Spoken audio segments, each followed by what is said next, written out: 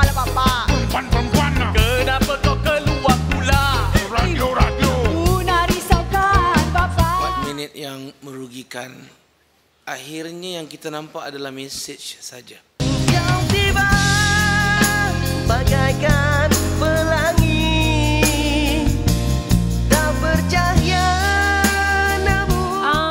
rasa um, percubaan anda malam ni ada satu percubaan yang baik. Indah nian istana bunian Okay, uh, persembahan malam ni saya rasa um, menarik, best.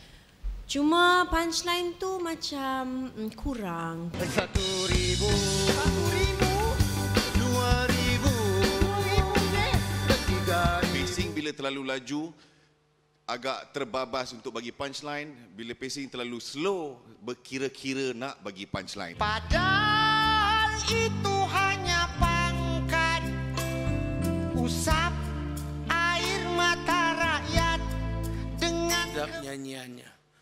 Tapi saya tak nampak di mana lak lawaknya. Ni, ni, ni. Aku nak tanya Agak Hang ni. Siapa ni? YB.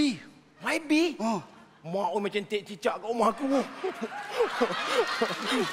ah, Persembahan yang menghiburkan, punchline pun ada daripada awal sampai akhir, comedy best, musical best.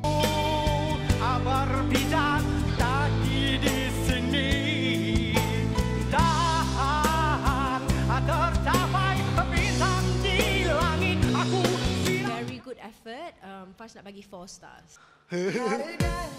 Ah, ini lagi. cakap lah yang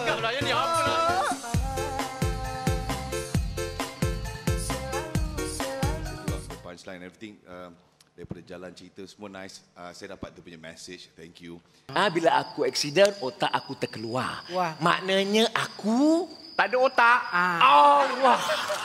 Bukan. Bukan. Kau dengar, dengar, dengar. Hey, dengar sekali lagi. Ah. Eh, Jangan bagi sweet sikit lah.